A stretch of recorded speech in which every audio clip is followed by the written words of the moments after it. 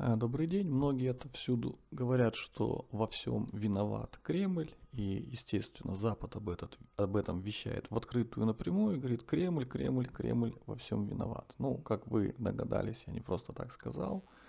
Вот смотрите, компания, которая делает обратный сплит, потом она вырастает, там, грубо говоря, не знаю, в 5-10 раз, а потом она чертит абсолютно точную фигуру Спасской башни, то есть вверх, бортик, вверх, ну, с этой стороны чуть-чуть погорячились, вниз и снова вверх. То здесь только курантов не хватает. Вот сюда мы если добавим куранты, то мы получаем абсолютно четко Спасскую башню, что доказывает в очередной раз, что во всем виноват Кремль.